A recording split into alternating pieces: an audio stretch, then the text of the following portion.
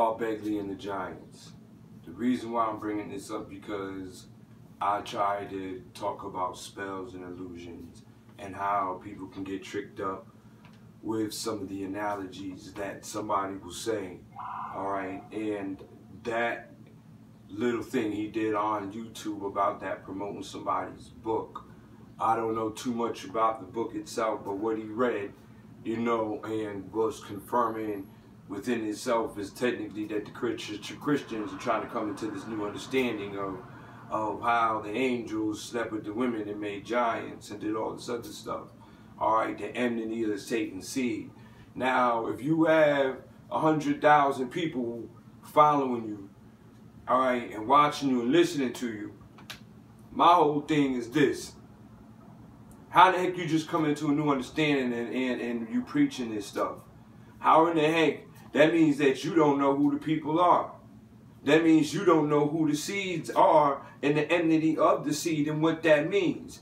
You don't know because the way he was talking was like, hey, Satan had to talk to himself and the prophecy came and Genesis 3.15 and, and all this other stuff and Satan seen that prophecy and, and this is that and the third. Well, technically the book of Genesis is a story out of Enoch, Jasher, and some other scrolls telling the story of how everything went about when God talked to Enoch and let Enoch know, and, and Jasher and all of them. So this is something else that you know what I'm saying is another lie that people fashion into their liking and do what they do. And he's of the same haplogroup and whole yards of these Grecians and Romans that used to do this. He's of the same haplogroup that these Canaanites and Edomites would do these things. So he talks about the stars and the quasars, but then he'll talk about paganism. All right and, and throw Orion in there and promote other books on all this other stuff that has to do with that in the galaxy. So do you see what I'm saying? And anybody who's of Yahweh knows that when they built the Tower of Babel, the first thing Yahweh did when you read the scrolls, he says, yeah, let's play around with them. He tells the angels, let's play around with them. So when they shot their arrows up to the sky, when they had the tower up there, he let it come down and look like blood. They said, oh, we killed them, we killed them. And then that's when you know, he changed the tongues and, and all that other stuff happened. So anyway, with that being said, this is the thing, things that I'm talking about that do get uh, make me upset. But then when I pray and I ask the Lord for discernment, he shows me all of the prophets and I read all of their stories of all the things they went through. And I give, you know, I bow my head down even for those that are not mentioned in the books, in the scrolls at all, like the ones that Jezebel killed. There are so many of them that nobody even knows about. And they had very, very few that would listen. All right, because that's how bad it was in the world. That's why there were so many of them because it was so bad.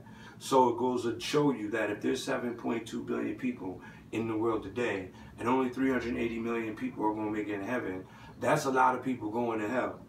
So what it, what I do is by doing this right here, by showing you, okay, this man was using words and phrases and etymologies to, to, to make, to fashion a truth into a lie.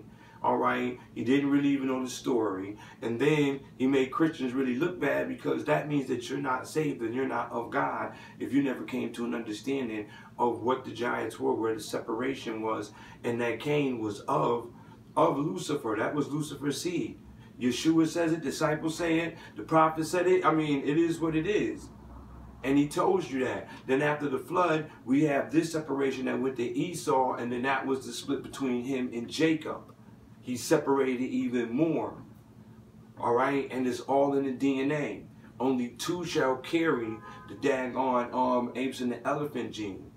All right? And so he's not even telling the truth. He's better off saying, oh, listen, I'm a Gentile. I'm preaching the word, and there was a time that there was a separation, and this is that and the third. But I'm reborn over again. I'm renewed of my mind and my conscience, and I like to say this is that and third. By him doing that right there, and then whatever he earns, giving it and helping out these people instead of being part of a line, no, he's not doing that. He's working with the same ones that's in Revelations, all right, in that, that Yeshua and that Yahweh and all the prophets been battling this whole time. So that means that if you're lying and you're fashioning a lie and getting and you're taking money from these same liars, you're a part of that lie.